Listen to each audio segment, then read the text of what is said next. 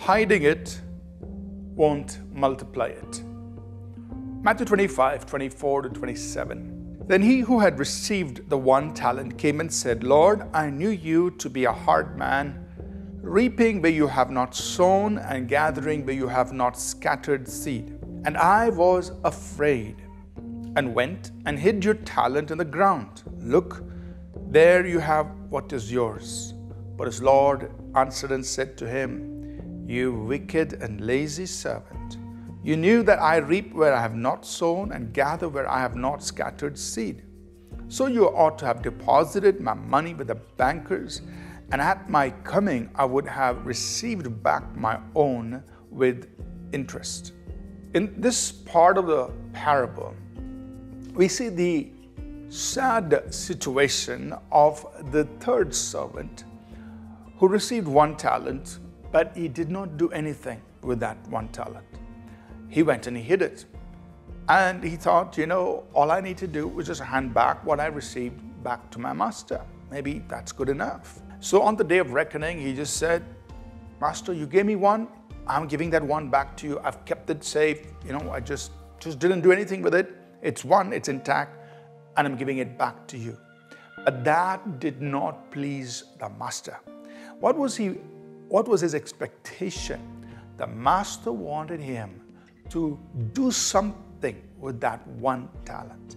He wanted him to put it to use, put it to work, and, and, and, and see some profit, see some increase, see some fruit coming out of what had been entrusted to him.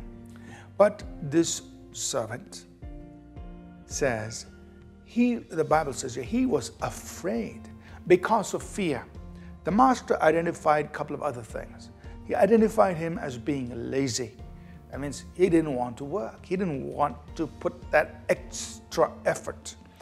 And he was wicked, unprofitable, base, debased. He didn't think wisely. Uh, he, he was corrupt in his thinking. So he was fearful, he was lazy, he was debased. And he did not do anything with what was entrusted to him.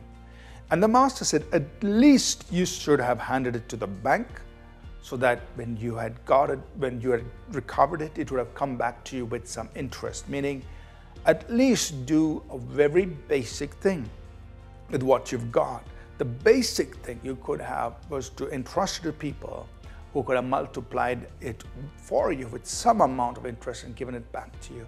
You didn't even do that. You didn't even hand what was given to you to somebody else who could have multiplied it for you. Uh, so there is something here we, we must understand.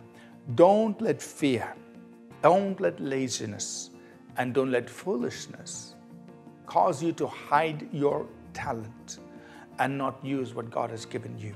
As we said, God has entrusted each one of us with some amount of grace and some amount of gifts. God has blessed each one of us with something. But as we journey through life, we face all kinds of situations, uh, some not so good situations. We face people who might oppose us or hinder us, and all kinds of situations.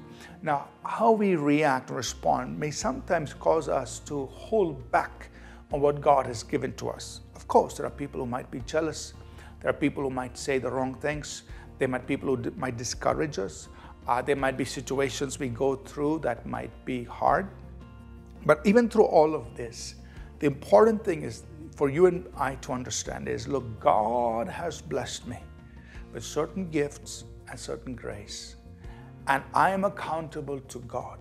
And I'm not going to let these experiences cause me to hide my talent or cause me to bury my talent. Because remember, hiding your talent, burying it, will not cause it to be fruitful. So you and I must rise up above these challenges, what people say, what difficulties we face, and say, I'm going to put the grace and the gift God has given me, I'm going to put it to work. I know that if I use it, it will bear fruit. And that's what I want to see. I want to be a fruitful and faithful servant so that the Lord will commend me for using what He has given to me. Remember, hiding your gifts and grace will not cause it to be fruitful. Put it to work. Let's pray. Heavenly Father, we ask that you will help us to rise above every discouragement, every uh, thing that would cause us to withdraw and hold back on the gifts and the grace you've given us. Help us, Lord, uh, to be wise, to be hardworking, to be able to put your talent, the, the, put the grace and the gifts you've given us to work. Let us not hide it, but let us use it for your honor, for your glory. In Jesus' name, amen. Thank you for tuning in to Living Supernaturally. For more resources to strengthen your spiritual walk, please visit apcwo.org